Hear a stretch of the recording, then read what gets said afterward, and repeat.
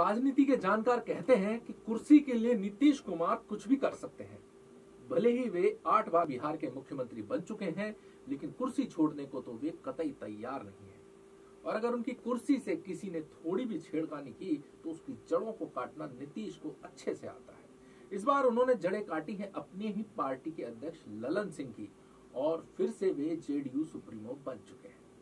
नमस्कार, मैं हूँ विजय वर्मा। पावर पॉलिटिक्स में आज हम बात करेंगे बिहार के मौजूदा मुख्यमंत्री नीतीश कुमार की, जिन्हें उनकी अलग तरह की सियासत के लिए अक्सर जाना जाता है और आगे भी जाना जाता रहेगा।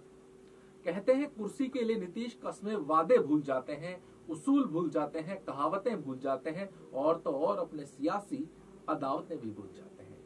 इतनी प्यारी है नीतीश को सीएम की कुर्सी। नीतीश ने फिर से अपनी सीएम की कुर्सी पर हाथ डालने वालों को किनारे कर दिया है।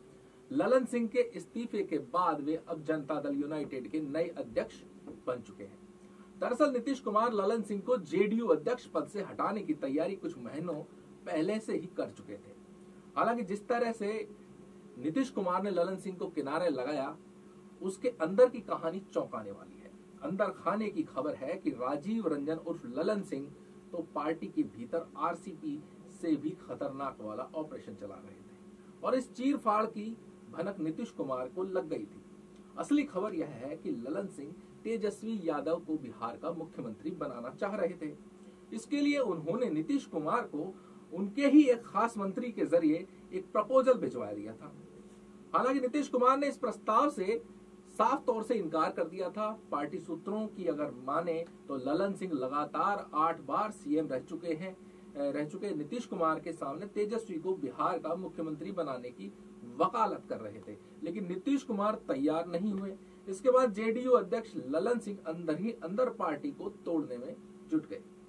जानकार सूत्रों की अगर माने तो कुछ दिन पहले ही जेडीयू के 12 विधायकों की गोपनीय बैठक भी हुई थी।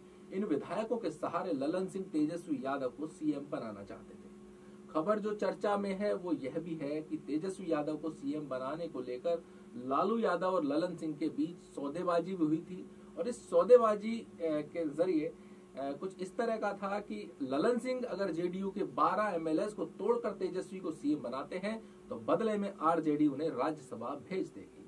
आरजेडी की ओर से हाल फ़िलहाल राज्यसभा में मनोज झा राज्यसभा सांसद हैं, जिनका कार्यकाल खत्म होने वाला है।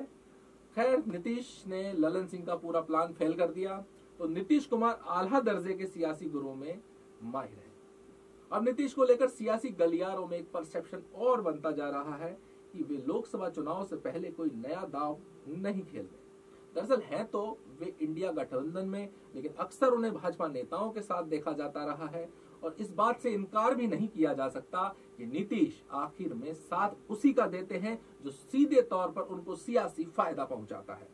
भाजपा नेताओं से उनकी नजदीकी लगातार बढ़ती देख सियासी पंडित भी अब हैरान है और कह रहे हैं कि नीतीश अपनी राजनीति के लिए कोई भी स्टेप ले सकते हैं।